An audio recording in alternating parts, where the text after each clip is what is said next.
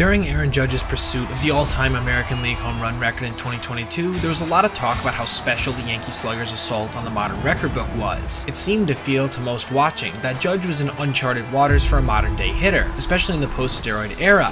But he wasn't really. There was another slugger who had belted 59 home runs just 5 years earlier, and that slugger could even be found sitting right next to Judge on the Yankees bench.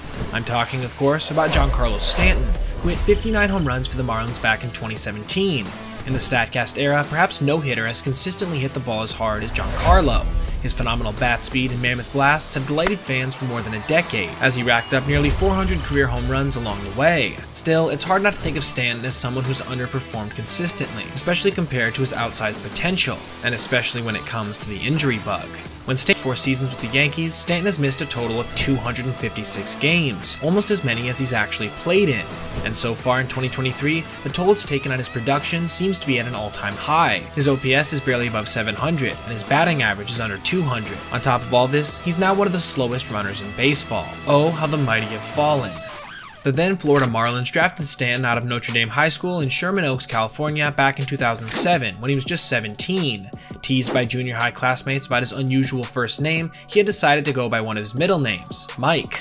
And Mike Stanton was one hell of a ball player. His combination of size, strength, athleticism, and bat-to-ball skills marked him as the number 3 prospect in baseball in 2010, according to Baseball America.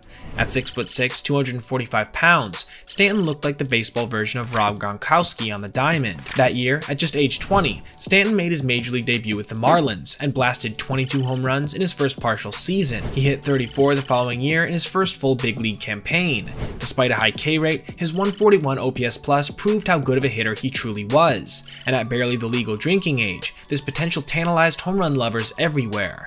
Then, in 2012, the Florida Marlins became the Miami Marlins. Mike Stanton became Giancarlo, and Giancarlo made his first All-Star team while leading the majors with a 608 slugging percentage and crushing 37 dingers with a 969 OPS. Unfortunately, he also missed close to 40 games due to injuries. He missed even more than that in 2013, having his toughest campaign to date, seeing his OPS plus drop by over 20 points while batting under 250 for the first time in his career. However, he still managed to hit 24 home runs. Stanton's coming out party was really 2014. Playing in a nearly full season of 145 games, he slashed 288, 395, 555, and led the NL in home runs, total bases, slugging percentage, and intentional walks. He finished second in the MVP voting to Clayton Kershaw. At age 24, Stanton had started to establish himself as one of the game's premier power hitters, someone who could hit the ball harder and longer than pretty much all of his peers, someone that the entire ballpark, including opposing pitchers, held their breath for when he took his large strides up the plate and I do mean large. At 6'6", Stanton was, at that point, the largest human to ever step foot in a major league outfield consistently. This record has since been broken by Aaron Judge. It was a tantalizing glimpse of what a healthy Giancarlo could do. It was just the healthy part that would soon become an issue. In 2015, he would play in just 79 games, but still managed to hit 27 home runs and make the All-Star team. He hit 27 more in 2016 in another injury-plagued season that saw him register his lowest OPS plus since his rookie year at 120. The slugger's potential remained immense, but after what was now seven years of inconsistent performance constantly put on hold by injury, fans started to lose a bit of their luster for the big guy. But in 2017, he would do something he had done just once so far in his big league career. He would play in over 150 games, and while doing so, would put together one of the most impressive offensive seasons in recent history. During this magical year, he seemed to set personal highs in basically every offensive category. Extra base hits? Yep. Home runs? Yep. Slugging, OPS, and OPS plus? All yes. Back to those home runs. He hit a lot, one after another at a blistering pace, and these were no wall scrapers. According to Baseball Savant, nearly 70% of Stanton's bombs were no doubters, a figure similar to Aaron Judge's in 2022. And it was a good thing he was hitting him that far. ESPN had just ranked Marlins Park as one of the six most difficult stadiums in which to hit a home run earlier that year. When he homered on August 27th, Giancarlo became the first player since Chris Davis in 2013 to hit 50 dingers in a season. He also became just the sixth player in MLB history to reach 50 home runs before the end of August. Then, on August 29th versus the Nationals, Stanton blasted his 18th home run that month, tying a 1937 record for the most in that month ever. Giancarlo would end up flirting with 60, finishing the season with 59 home runs and a league-leading 132 RBI, blowing away Preston Wilson's franchise record of 121. He also hit a ball with the highest exit velocity in the major leagues that entire season, 120.1 miles per hour. Only future teammate Aaron Judge, then in his rookie season, could compete with Stanton's raw power. Finishing with a B WAR of 7.9, it wasn't really all that surprising that Stanton won both the Hank Aaron Award and the National League MVP, beating out Cincinnati Reds first baseman Joey Votto by two points but he was still stuck in Miami, and although he now held virtually every Marlins career offensive record, Stanton, who was still in the middle of a 13-year, $350 million contract, was ready for a change. And so, in December, the Marlins shipped their big slugger to the New York Yankees for Starlin Castro and two minor leaguers. Stanton was just the second player in Major League history to be traded after a 50-homer season. Early on, Giancarlo, now donning pinstripes, delivered the goods. He hit two home runs in his debut with the Yankees, including in his very first at-bat on opening day. On May 15th, Stanton collected his 1,000th career hit, and in August, his 300th career home run.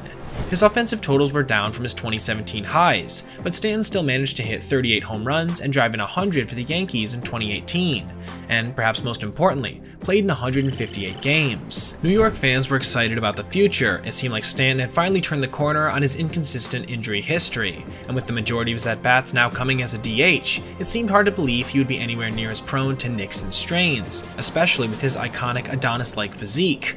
Oh, how wrong this would turn out to be. Stanton has been injured just about everywhere in his career, but around this time in particular, he was dealing with a rash of lower leg injuries, ankle tendonitis, a calf strain, a bruised foot. This not only sapped his once decent speed, but made it a virtual certainty he wouldn't be seeing any time in the outfield again, save for the occasional spot start. And what's more, when he was out there, there was no chance he was going to be performing above average. In 2021, Stanton had somewhat of a bounce back season, slashing 273, 354, 516 with 35 home runs and 97 RBIs. Was it anywhere close to his prime, but it was serviceable. A 136 OPS plus will always play, though it is important to note that as mostly a DH only contributor, his overall WAR of 2.0 wasn't really worth as much as you'd think, especially for a guy making around $30 million a year. He did also show out in the wildcard game that season, going 3 for 4 with a home run and two long singles in the Yankees 6-2 loss to the Red Sox. Then, in 2022, as his teammate Aaron Judge was thrilling Yankees supporters and baseball fans alike, Stanton found himself yet again struggling, only this time time, it wasn't just with injuries. That played a factor as he managed to take the field in just 110 games, but his production at the plate, something that had always remained consistently high, floundered. His batting average dropped off a cliff to 211, his strikeout rate shot up to 30.3%, and he managed to slug just 462 with a 759 OPS. His 114 OPS plus was the worst mark of his career. This season, it's somehow only gotten worse, as he's managed to check off every single box for the declining player bingo card. Injured again? Yep. Somehow negative defensive WAR despite playing in very few outfield games? You got it. Offensive numbers even worse than last year? Certainly. His 93 OPS plus is now literally below average, and he's hitting under the Mendoza line as well. Stanton's aging body and enormous 6'6 frame seem to have been breaking down for years now, and when you're that big, you need a stable frame to control your swing. This has led to a cratering of production that even the most cynical Yankees haters couldn't have predicted, even if they are currently reveling in it. But perhaps there is at least one bright spot for Yankees fans to cling to. Giancarlo still hits the ball really hard. Last season, over half of Stanton's batted balls went over 95 miles per hour. He ranked in the 99th percentile in average exit velocity, and in the 100th percentile in max exit velocity. Only Oneil Cruz hit a ball harder than he did last year, including Aaron Judge and many of his fly balls were still home runs. His 30.4 home run to fly ball rate was one of the best marks of his career, and even as his exit velo has dropped this season, it's still sitting at a healthy 93.4. His strikeout rate has dropped as well, all the way to under 24%. If he keeps hitting the ball hard consistently, one has to assume his fortunes will change for the better at least somewhat soon. In short, he can still be a major force at the plate, even if not one on par with Aaron Judge, and I, for one, am rooting for him. I like the league better with the mashing Stanton in it, even if it does have to happen for a team like the Yankees. Now, thanks for watching. Leave a like if you enjoyed the video, and click this playlist for other essay content just like this. Have a great day.